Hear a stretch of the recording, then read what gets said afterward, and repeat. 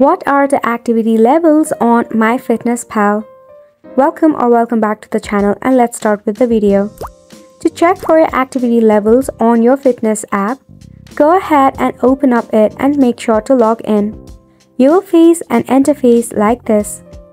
To check for your activity levels, go ahead and select more.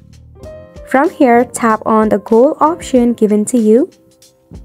In here, you will see activity level, tap on it. Right now you can see it is not very active. If you want to change it, you can easily change by tapping on it.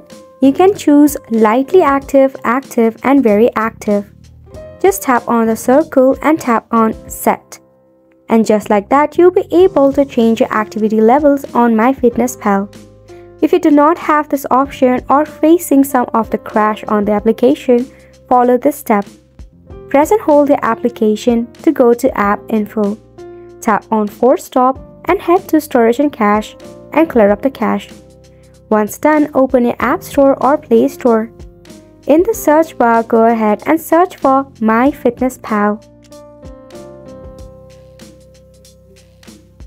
Tap on it and if there is an update, leave it for an update.